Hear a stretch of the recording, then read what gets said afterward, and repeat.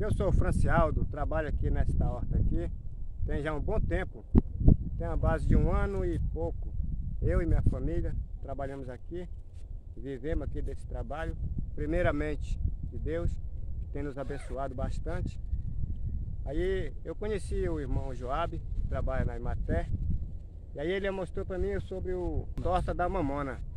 E aí eu passei, joguei, a, passei a trabalhar com a torta da mamona, joguei aqui nesta cebola aqui, e eu vi que o efeito da torta da mamona foi muito bom. Também joguei um pouco no polvo, e também eu vi um efeito muito bom também.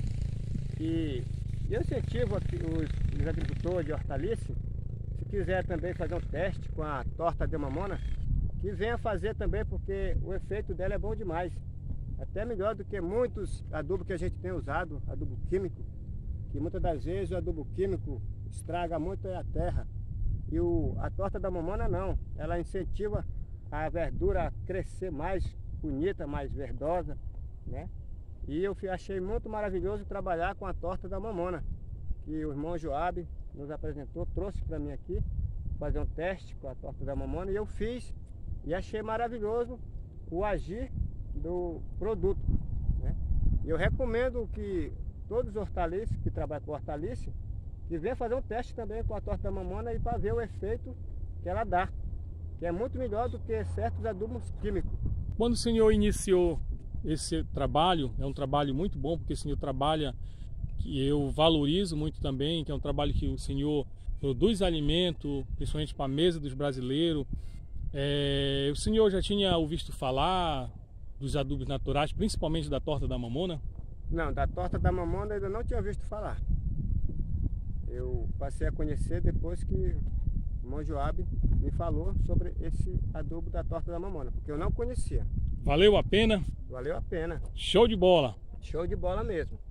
Vai continuar utilizando? Vou continuar utilizando e recomendo quem trabalha também com esse trabalho que faça um teste também que você vai ver um efeito muito bom nas suas verduras.